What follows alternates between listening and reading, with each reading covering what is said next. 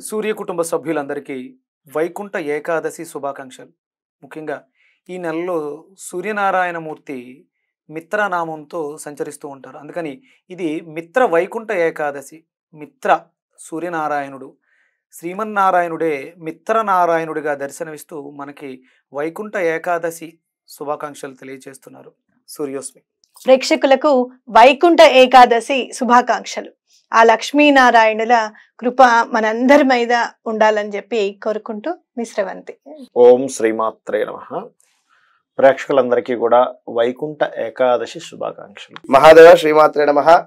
రెండు వేల ఇరవై మూడులో వచ్చేటువంటి ఈ యొక్క వైకుంఠ ఏకాదశి శుభాకాంక్షలు రెట్టి ప్రేక్షకులకు అందరికీ కూడా ఆ చక్కగా కూడా రుణ రోగ శత్రు నివారణ బాధలు ఎవరికి కూడా ఉండకుండా చక్కటి ఆరోగ్యంతో ఆ యొక్క భగవంతుడు మిమ్మల్ని చల్లగా కూడా చూడాలని మనస్ఫూర్తిగా వేడుకుంటూ యొక్క మోక్షద ఏకాదశిని అందరూ కూడా చక్కగా స్వామివారి దర్శన భాగ్యాలు చేసుకొని అద్భుతమైనటువంటి వాతావరణంలో ఉండుగాక.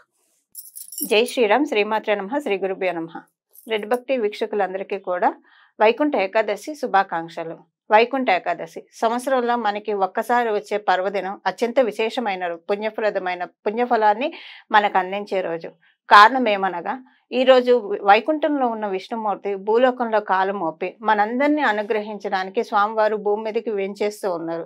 మన ఇంటికి ఒక అతిథి వస్తే మనం ఎంత రెస్పెక్టబుల్గా ట్రీట్ చేస్తాం? మనల్ని అలంకరించుకొని మన ఇంటిని అలంకరించుకొని వచ్చిన వాళ్ళకి అతిథి అభ్యాగతి సత్కారాలు ఎలా చేస్తామో జగత్ జగత్ జగత్తంతటిని పాలించే శ్రీమన్నారాయణుడు భూమి మీదకి వచ్చే శుభదినాన్న ముప్పై మూడు కోట్ల మంది దేవతలు కూడా భూమి మీదకి వచ్చి స్వామివారికి అర్చనలు చేస్తారు. మనం దేవతలతో వెళ్ళి అర్చన చేయడం వల్ల మనకి అసలు అసురుల బారిన పడకుండా అంటే మనం రోజు వింటూ ఉంటాం పూజ చేస్తున్నా శ్రద్ధ కుదరటం లేదండి ఏవేవో పిచ్చి పిచ్చి ఆలోచనలు వస్తున్నాయి ఇలాంటివన్నీ మనం వింటూ ఉంటాం. ఇలాంటివన్నీ ఎందుకు ఉంటాయంటే మన చుట్టూ అసుర శక్తుల ప్రకోపం ఎక్కువగా ఉండడం వల్ల పూజ మీద మనకి శ్రద్ధ కలగదు.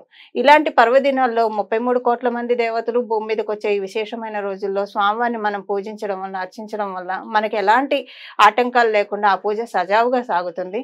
ఈ పర్వదినాన్ని మీరందరూ కూడా చక్కగా వినియోగించుకొని శ్రీమన్నారాయణ ఆశీస్సులను అందుకుంటారని చెప్పి ఉత్తర ద్వార దర్శనం మనకి ఇప్పుడే ఉంటుంది. ఉత్తరం వైపు ఎప్పుడైతే మనం శ్రీమన్నారాయణ దర్శించుకుంటామో మరు జన్మ ఉండదని చెప్పి మనకి శాస్త్రాలు శాస్త్రాలు వచిస్తూ ఉన్నాయి. ఈ రోజు స్వామివారికి ఒకవేళ స్వామివారి ఆలయానికి వెళ్ళి దర్శించుకోలేని వాళ్ళు ఓం నమో నారాయణాయ అనే అష్టాశ్రయ మంత్రంతో కానీ లేదా ఓం నమో భగవతే వాసుదేవాయ అనే ఈ ద్వాదశాక్షరి మంత్రంతో కానీ శ్రీమన్నారాయణని అర్చిస్తూ ఉన్నా కూడా తదనుగుణమైన ఫలితాన్నే వస్తుంది. దేవాలయాన్ని దర్శించిన వాళ్ళు జపించవచ్చు దర్శించలేని వాళ్ళు మరింత భక్తి శ్రద్ధలతో జపిస్తే కనుక ఆ పర శ్రీమన్నారాయణ యొక్క జగత్పతి యొక్క ప- సంపూర్ణ కృపాకటాక్షాలు మనందరం పొందగలుగుతాం. మంగళం. నమో భగవతే వాసుదేవాయ. రెడ్ టీవీ భక్తి ప్రేక్షకులకు వైకుంఠ ఏకాదశి. శుభాకాంక్షలు. రెడ్ టీవీ భక్తి ప్రేక్షకులకి వైకుంఠ ఏకాదశి శుభాకాంక్షలు. రెడ్ టీవీ సబ్స్క్రైబర్స్ అందరికీ కూడా ముక్కోటి ఏకాదశి శుభాకాంక్షలు. ప్రతి ఒక్కరు కూడా సుఖ సంతోషాలతో ఆనందాలతో ఎల్లప్పుడూ మోక్ష మార్గం వైపు అడుగులు వేస్తూ భక్తితో ఉండాలని మనస్ఫూర్తిగా కోరుకుంటూ మీ శ్రీలతా దత్త.